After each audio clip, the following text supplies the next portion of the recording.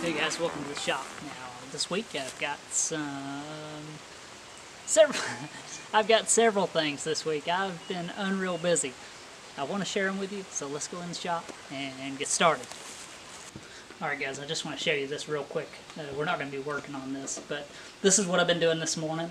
Ugh, I hate mechanic work. I've done it my entire adult life, and I am done with it. I had to put a timing uh, belt set in this, you know, the typical timing belt, idlers, uh, tensioner, serpentine belts, all the good stuff. This thing had a water pump go bad, and the water pump is driven by the timing belt, which is a horrible thing if you ask me. Let me bring you in and show you. Alright, now I've got this thing completely tore down. The whole front of the engine has to come off radiator, all that good stuff, to put a timing belt on this thing. And here's the old pump. Now, like I said, I've already put one in this once. Um, and these cheap parts, you know, they're just garbage. And luckily, this thing didn't go out bad enough for the timing belt to break. if the timing belt breaks on this engine, it's an interference engine, which means that the valves and pistons can collide if it gets out of time. And this being a multi-valve engine means it's junk if that happens. So this is a stressful one. And it's not an easy one if you ask me. Some guys probably could fly through it, but, you know, it takes me, it would take me a day to do this, and uh, it's brought blood on me more than once today. So that's my morning. Let's go in the shop and uh, do something fun. Alright guys, now I got several things we're going to attempt to do today. I don't know how far we'll get, but we'll get as far as we can. We're going to be using the shaper to finish up, hopefully, the faceplate for this indexing angle plate. We got to square this plate up I'm going to be using the compound feeding down my hand, side cutting. We're also going to try to get out a really mangled little bolt out of this item here. And I've got a little method that I'm going to try. I don't know if it'll work or not, but it's interesting nonetheless. When we try to locate these bolt holes, now these are existing, and I didn't put these in here. We're going to use a alternative method, you know, just for fun. So let's get started. Alright, here's a little look at the tool we're going to be using in the shaper. And nothing special, just a roughing tool. We got a uh, 16th of an inch radius on the end here. We're going to be feeding down with the compound, side cutting with this thing, so it'll be clocked over a bit. Should be neat. I've honed the edge, it's pretty sharp. This is a piece of Cobra by Ludlow Steel Corporation. So never tried this steel before. I figured I'd grind one up and give it a shot. So that'll be interesting. Let's go over the shaper and get set up.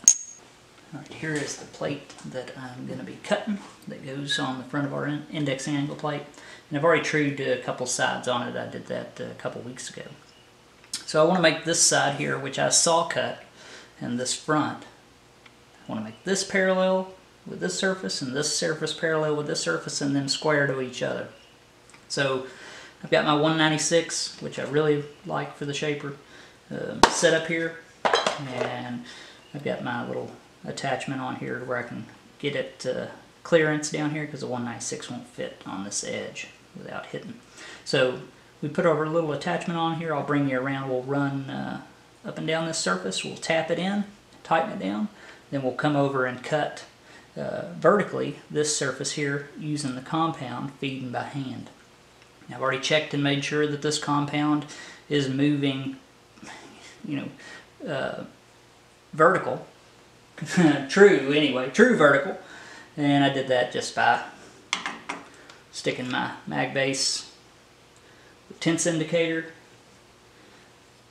and Starrett parallel or Starrett uh, uh, machinist square on the table. So it's referencing off the table. That gives me a vertical line that is true.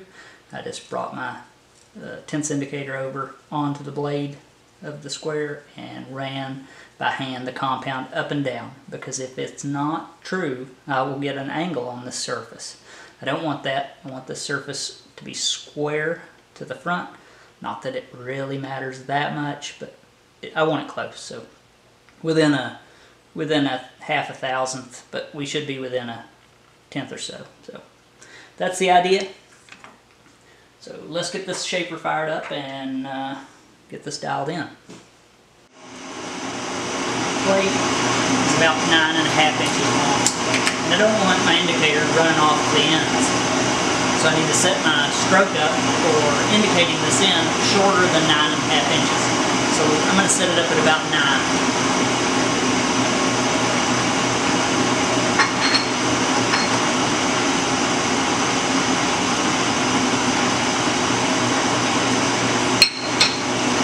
I'm going to make sure that my indicator travels doesn't fall off the edge. So I have to move my stroke forward just a little.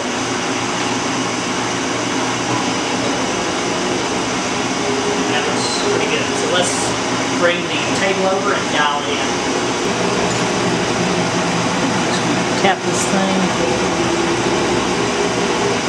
So I get consistent reading. I'll be refinishing this anyway, so it doesn't necessarily matter. But I want it to be close.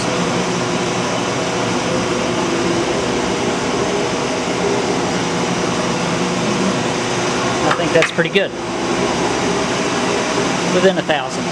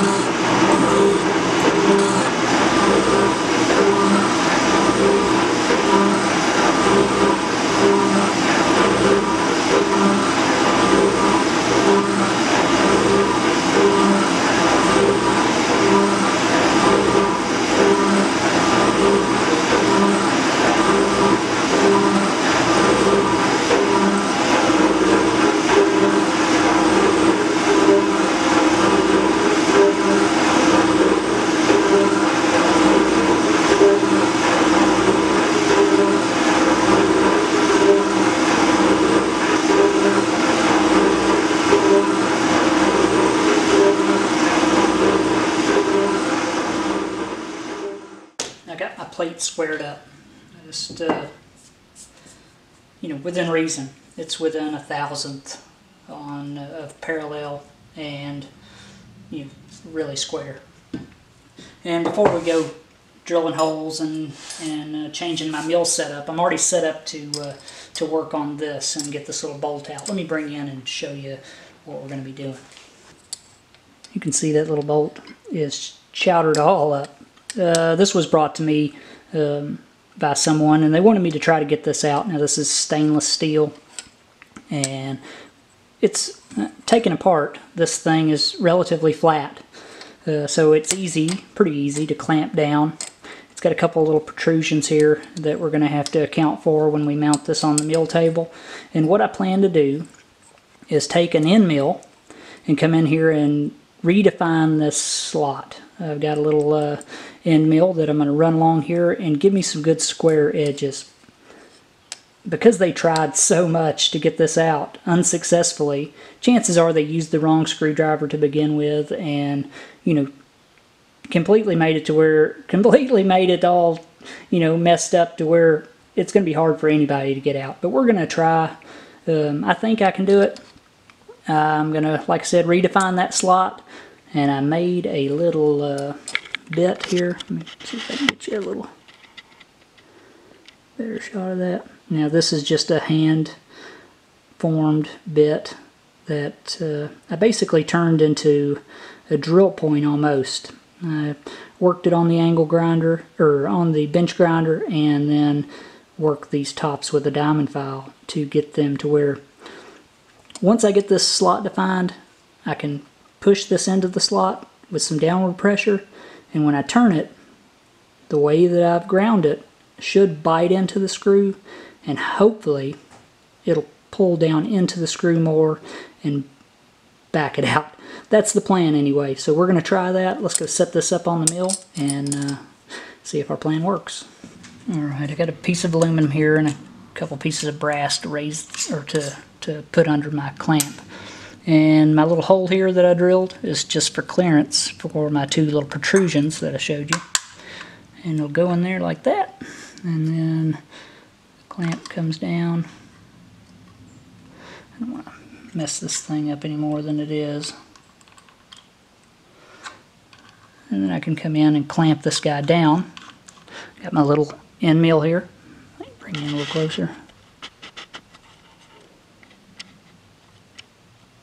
My little end mill, and uh, I'm just going to try to, by eye, line this back up with the somewhat existing slot, and I'm going to run this end mill back and forth just to give me some square edges. That's the plan. I hope it works. But, uh, I mean, I can't mess this screw up really any more than it already is. So I'm going to get set up and I'll bring you back when we're cutting. Well, I think that I've got it to where I can run back and forth. Uh, this In this, what used to be a screw slot, I'm not going to use any lubricant or anything. I'm just going to go real slow and I'm not going to cut any deeper than I have to. And I'm going to try to stay away from the edges because I don't want to chew this thing up.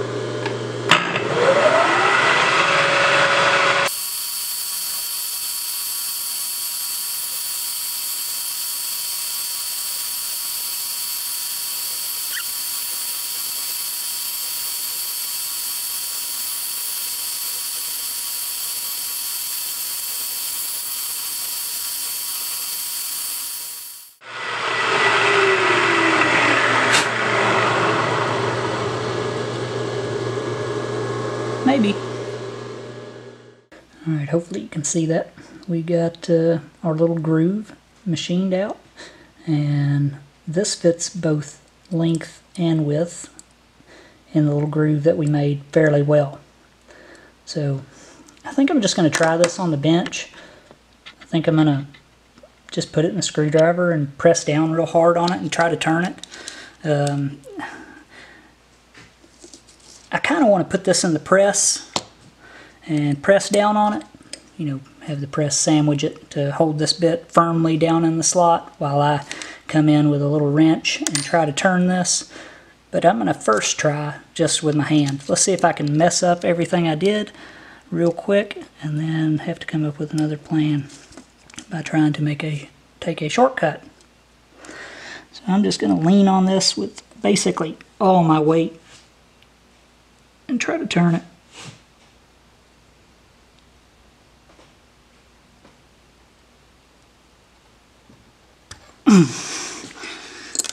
well, we turned it a little so we know that if we're careful, we can get this out. Unless the head's just twisting off, I don't know. It shouldn't. and that's in there good. I'm going to have to think of something else some other way to hold it. Well, I've changed my setup here. Now I'm in the mill again.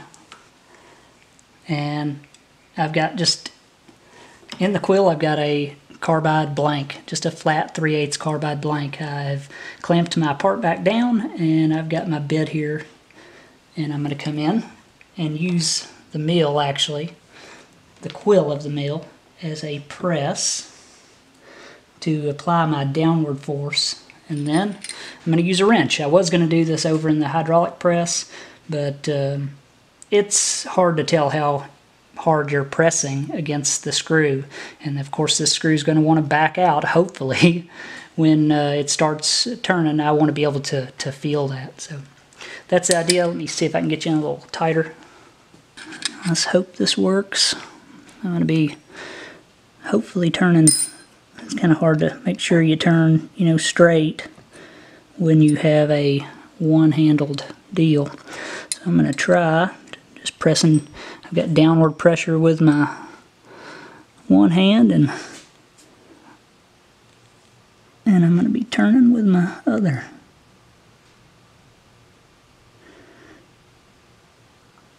Man, that's in there tight. It has turned a little, but is not broke loose yet.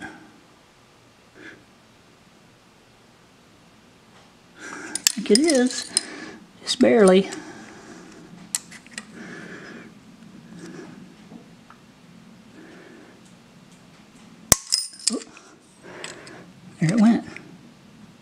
broke free. Well, unfortunately, that snap that we heard was the head of the bolt shearing off, but I think uh, I think we're still good. We can get in here now and and we can get a hold of it. A little keeper there. So yeah, nothing ever works the way you you plan. You can hope, but it almost never uh, goes super smooth. You know why that wouldn't come out? Because It's a left-handed screw. a lesson within a lesson. I would have never have thought that that would have been a left-handed screw. I mean, how many times do you run into a left-handed screw? And I guess, you know, where I'm not a smith, um, you run into this stuff maybe more common there.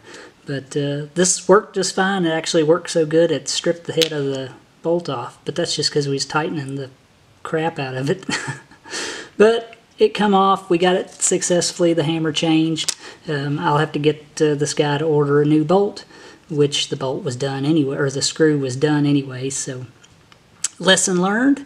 Um, everybody can goof, and I'm definitely not immune to it. But mission accomplished, hammer changed, and uh, maybe I'll be wiser next time.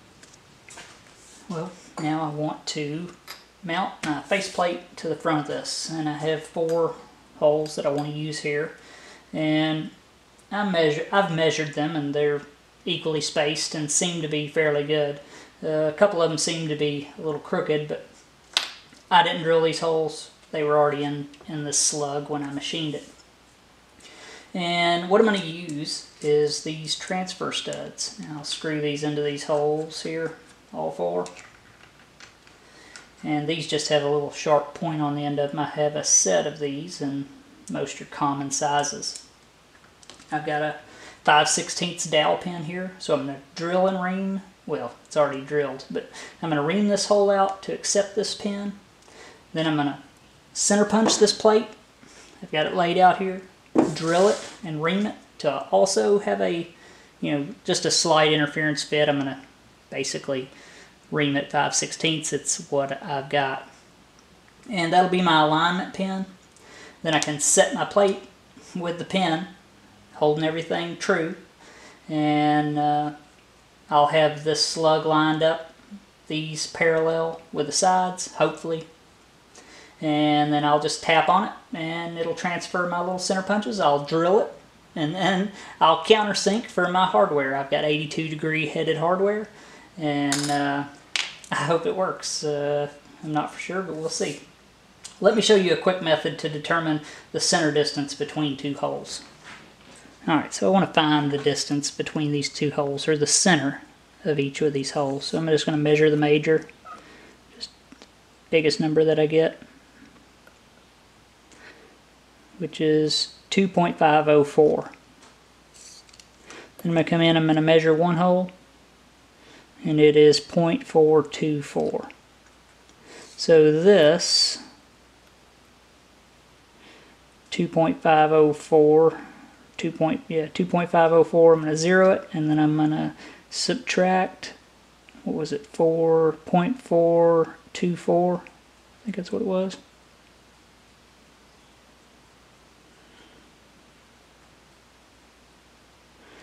okay and, and 0 and then there's our distance. 2.080 so we come back to 0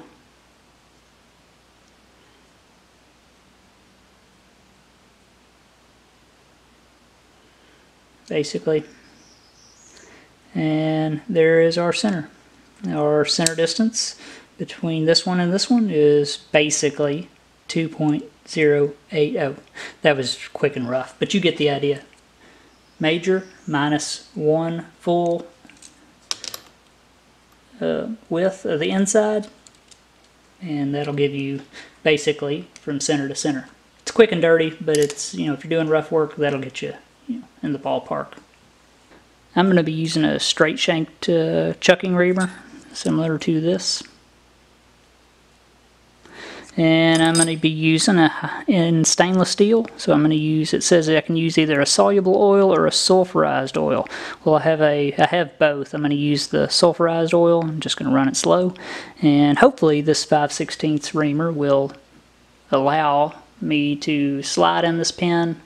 You know, even if I have to slightly push it in I'm fine with that. It's a through hole so I can knock it back out I'm going to do the same thing on the steel plate and for steel or yeah steel it's the same thing.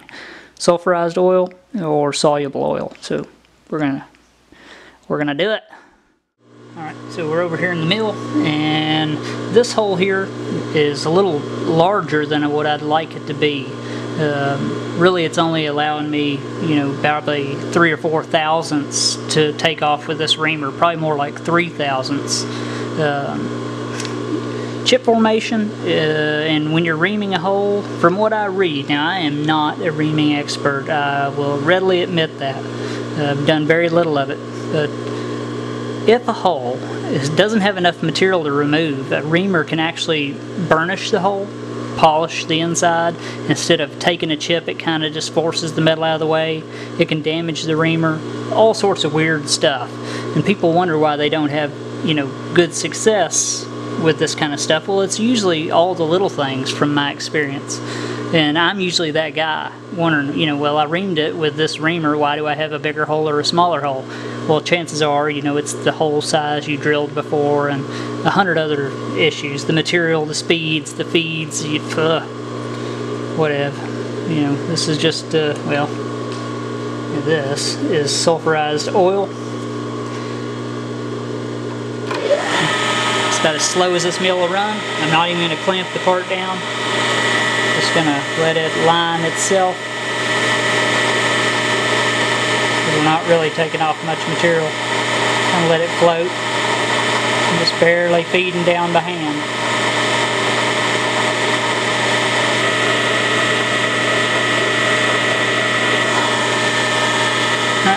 It's good enough.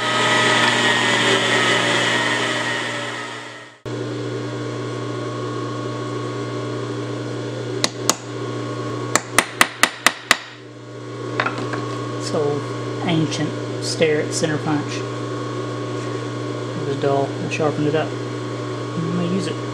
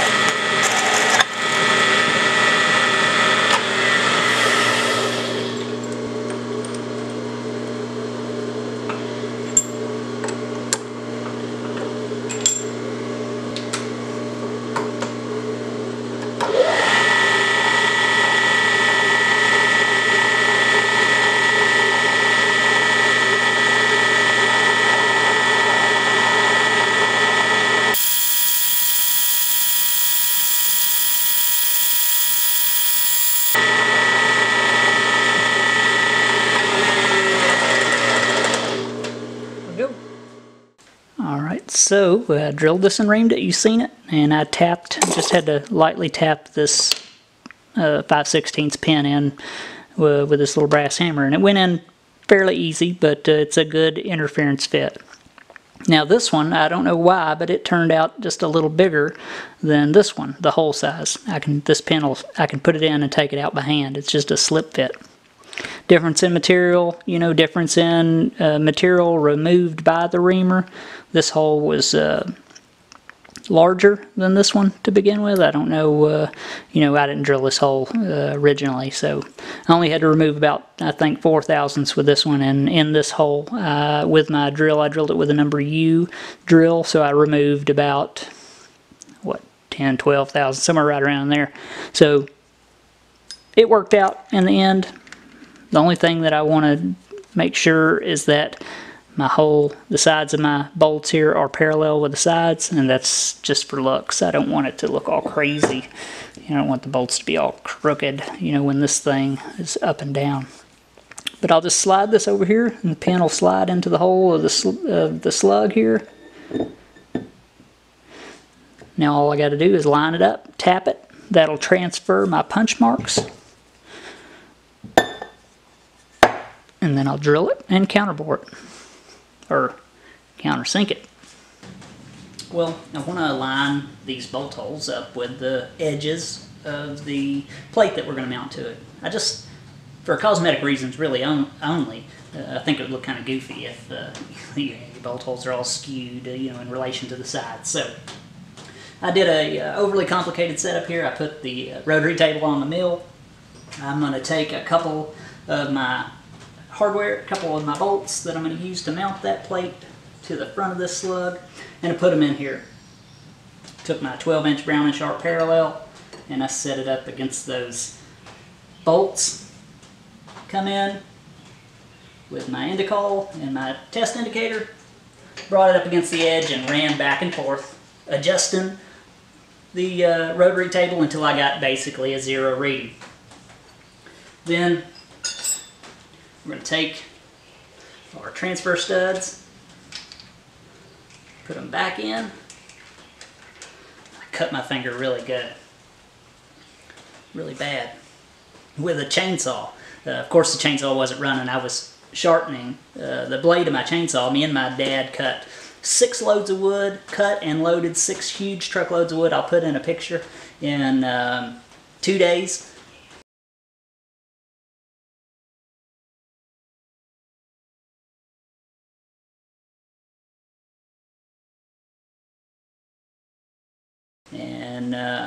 It was a lot of work, but I'm glad to have the wood for the winter. now, uh, got uh, my stud, or my pin, my dowel pin, that we placed in our plate.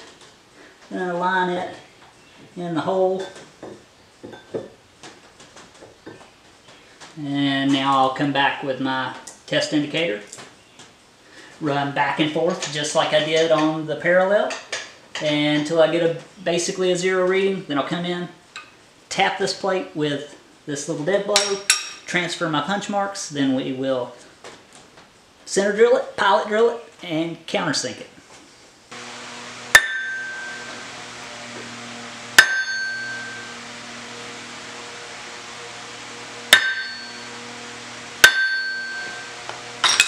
Hopefully got our marks. So that's good. All right, here's a little closer look at our punch marks. And you may not be able to see them, but I can see them pretty well. These are the ones that I'm, you know, familiar with using, the transfer punches. And uh, I really think that these have an advantage over this type here. Uh, this type here, you just, you know, this is actually a wrench also. You just screw it into your hole. But if you don't, if you're doing multiples like we did, we did four punch marks at one time, you have to make sure that these are, you know, close to the same depth or else you may get punch marks to transfer on one and not the other. With this type, now all I've got is Imperial uh, coarse thread. Uh, that you just screw these in till they stop, you know, till they rest up against the shoulder, and you know that gets all your punches at the same height, which is is good and it allows us to not miss any. So just a little closer look. I think a, person, if they was inclined to, could actually make these um, just out of a grade 8 bolt. But there you go, a little closer look. First time I ever used them.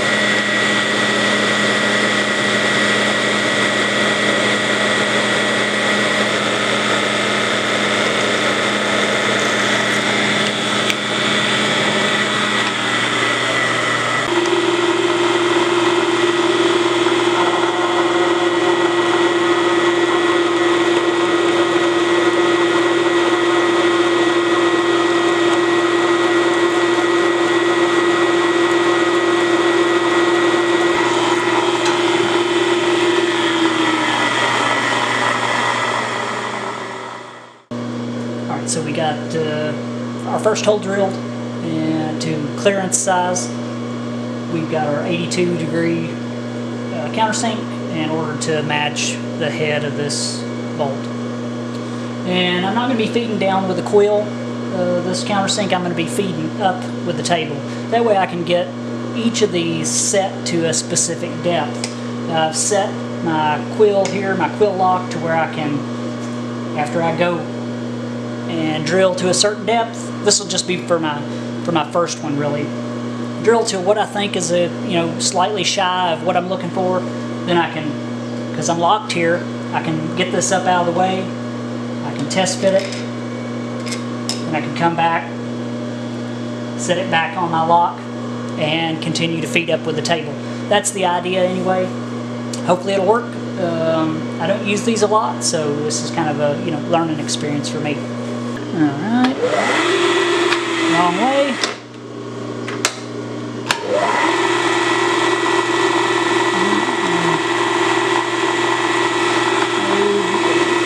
Bring it down to our stop hits. I'm going to bring the table up until it starts cutting. Call that zero.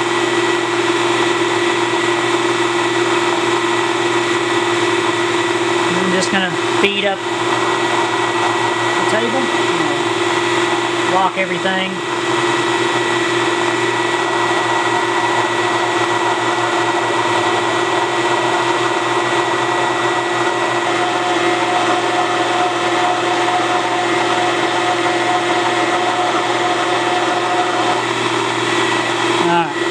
Think that'll do it.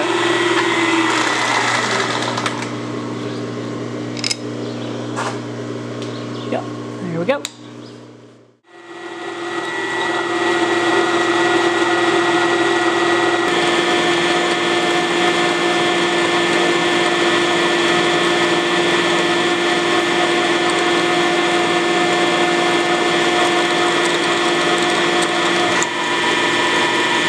There we go. Last one. Let's see. We'll use this wiggler on every one of them to line them all up. To line up our punch marks, and it seems like it's worked well so far.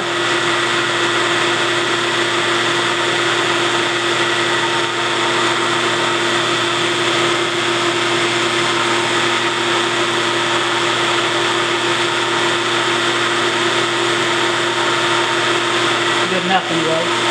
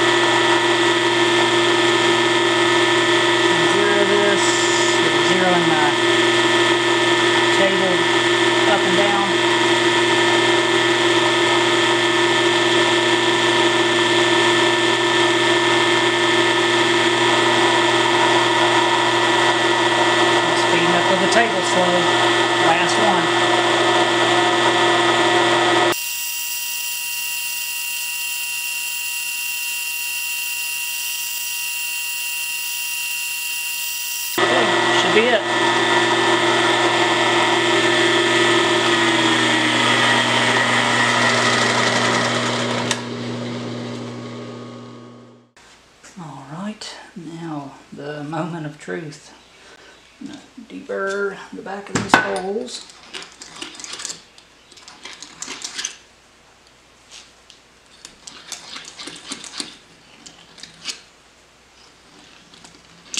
better.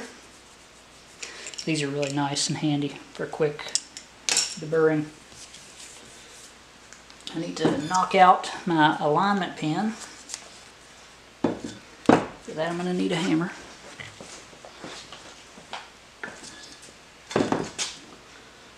Punch.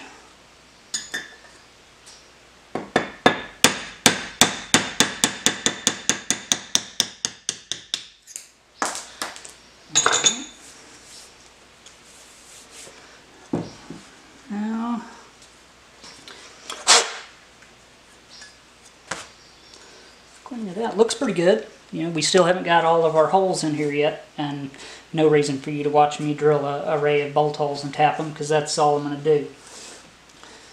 Bring it up here, get you a better angle. All right.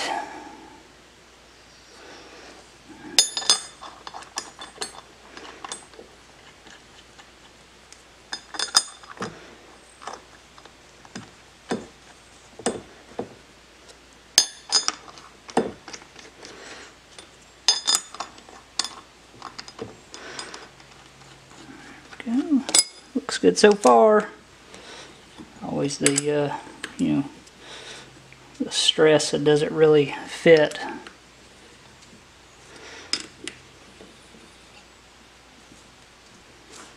Looks good to me. make sure that all these are below the surface. And I'll just, you know, I'll probably come in and grind this anyway one day when I when I get a uh, surface grinder, but whatever. That looks pretty good. get our holes in it and mount it to the actual unit. Look at your back.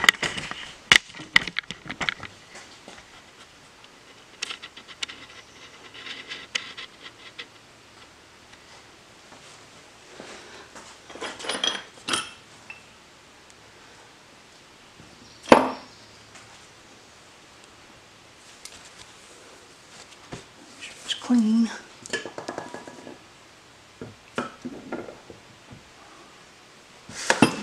There we go. An indexing angle plate. Once we get it all together and get it uh, to where we can use it, we'll have to do a project with it. That's awesome. And you can't beat that you know, and now, you know, my holes look like they're in line with the side, and that's all I care is if it, you know, looks like it is. And it is, really, within reason. So, very good, and I'm happy with that.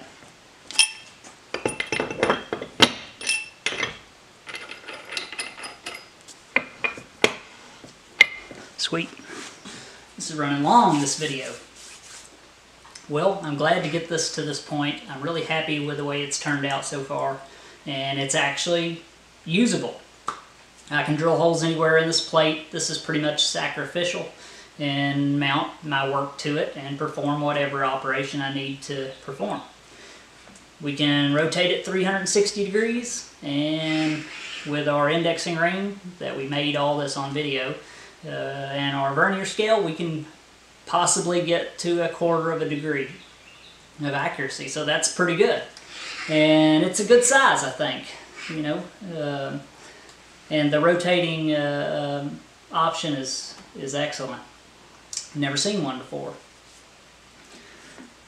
On our little uh, adventure uh, at the beginning of this video, when we tried to get the uh, screw, the left-handed screw out, to the guys who knew that was a left-handed screw and was screaming at the screen, you know, stop you goof, that's a left-handed screw. Thumbs up to you. But to the majority of folks who were right along with me and thinking, man, that screw's tight, you know, it happens. Uh, I'm sure I'm the only person who's ever done that to a left-handed screw. So thanks for watching, guys. I really appreciate it. If you haven't, make sure to subscribe to the channel by clicking on my little guy up here and hit the bell for notifications. And as always, I'll see you next time.